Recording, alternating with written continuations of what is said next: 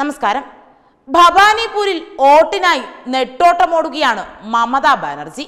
മസ്ജിദ് സന്ദർശനത്തിന് പിന്നാലെ ക്ഷേത്ര സന്ദർശനവും ഇപ്പോൾ നടത്തിയിരിക്കുകയാണ്. എന്നാൽ ഇതെല്ലാം കണ്ടിട്ട് ഇതെന്ത് പ്രഹസനമാണെന്നാണ് സോഷ്യൽ മീഡിയ ചോദിക്കുന്നത്.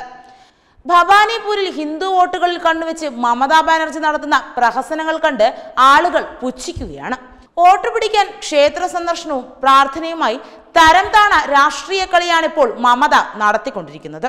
ഇതിനെതിരെ രൂക്ഷ വിമർശനങ്ങൾ തന്നെയാണ് സമൂഹ മാധ്യമങ്ങളിൽ ഉയർന്നുകൊണ്ടിരിക്കുന്നത്. ബി ജെ പിക്കെതിരെ ഹിന്ദു വോട്ടുകൾ പിടിച്ചെടുക്കുക എന്ന ലക്ഷ്യത്തോടെയാണ് ബംഗാൾ ദീദിയുടെ ഈ പ്രഹസനങ്ങളെല്ലാം. മണ്ഡലത്തിലെ ക്ഷേത്രം സന്ദർശിച്ചാണ് മമത ഹിന്ദുക്കൾക്കിടയിൽ പ്രിയം പിടിച്ചുപറ്റാനായി ശ്രമം നടത്തിക്കൊണ്ടിരിക്കുന്നത്. പ്രശസ്ത സീതാല ക്ഷേത്രത്തിലാണ് മമതാ ബാനർജി ദർശനം നടത്തിയത്. തൃണമൂൽ കോൺഗ്രസ് ദേശീയ ജനറൽ സെക്രട്ടറിയും അനന്തരവനുമായ അഭിഷേക് ബാനർജിക്കൊപ്പമായിരുന്നു മമത ക്ഷേത്രത്തിലെത്തിയത്. പ്രത്യേക പൂജകൾ ചെയ്തായിരുന്നു മടക്കം. ക്ഷേത്രത്തിൽ മമത വിളക്ക് തെളിയിക്കുന്നതിന്റെ ദൃശ്യങ്ങൾ സമൂഹ മാധ്യമങ്ങളിൽ വ്യാപകമായി പ്രചരിക്കുന്നുമുണ്ട്. മണ്ഡലത്തിലെ ബി ജെ പി സ്ഥാനാർത്ഥിയായ പ്രിയങ്ക ടിബ്രേവാളിന് ശക്തമായ സ്വാധീനമുള്ള മണ്ഡലമാണ് ഭവാനിപ്പൂർ. അതിനാൽ ഹിന്ദു വോട്ടുകൾ നഷ്ടമാകുമെന്ന ഭയം മമതയ്ക്ക് വളരെയധികമുണ്ട്.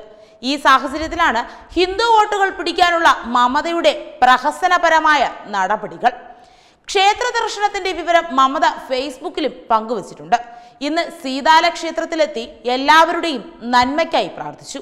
ദേവിയുടെ അനുഗ്രഹം ദുഷ്ടശക്തികളിൽ നിന്നും ദുഃഖങ്ങളിൽ നിന്നും നമ്മെ മോചിപ്പിക്കും. ബംഗാളിന്റെ നന്മയ്ക്കും സാഹോദര്യത്തിനുമായി പ്രാർത്ഥിച്ചുവെന്നും മമത ഫേസ്ബുക്കിൽ കുറിച്ചിട്ടുണ്ട്. എന്നാൽ തെരഞ്ഞെടുപ്പ് പ്രചാരണത്തിന്റെ ഭാഗമായി മമത നേരത്തെ മണ്ഡലത്തിലെ മസ്ജിദും സന്ദർശിച്ചിരുന്നു. ഇതിന് പിന്നാലെയാണ് ക്ഷേത്രത്തിലും എത്തിയത്. ഇതാണ് സമൂഹ മാധ്യമങ്ങളിൽ വളരെ രൂക്ഷമായ വിമർശനങ്ങളിലേക്ക് വഴിവെച്ചിരിക്കുന്നത്. എന്ത് പ്രഹസനമാണ് ബംഗാൾ മുഖ്യമന്ത്രി നടത്തുന്നതെന്നാണ് ചിലർ ചോദിക്കുന്നത്. വർഗീയ ശക്തികളെ തകർക്കുന്നതിനായാണ് താൻ ക്ഷേത്രത്തിലും മസ്ജിദിലും പോയതെന്നാണ് മമതയുടെ വാദം.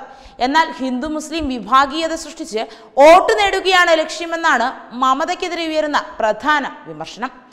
അതേസമയം ദേശീയ തലത്തിൽ പ്രതിപക്ഷ ഐക്യത്തിൽ വിള്ളൽ വീഴ്ത്തി കോൺഗ്രസ് തൃണമൂൽ പോര് മുറുകുകയാണ്.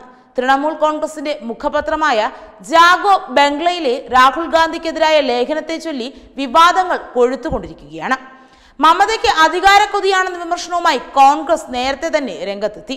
രാഹുലിന് കഴിഞ്ഞില്ല. മമതയാണ് യഥാർത്ഥ പ്രതിപക്ഷ മുഖം എന്ന തലക്കെട്ടോടെയാണ് ജാഗോ ബംഗ്ലയിലെ ലേഖനം.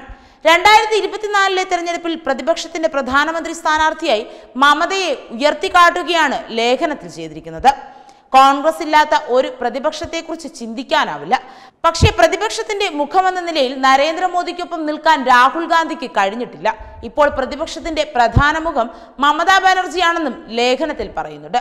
മമതാ ബാനർജിയെ പ്രതിപക്ഷത്തിന്റെ മുഖമുദ്രയാക്കി രാജ്യമെമ്പാടും പ്രചാരണം നടത്തുമെന്നും ഇതിൽ പറയുന്നുണ്ട്. ഇതിന് പിന്നാലെയാണ് മമതയുടെ ഈ പ്രഹസനങ്ങൾ. Web desk news.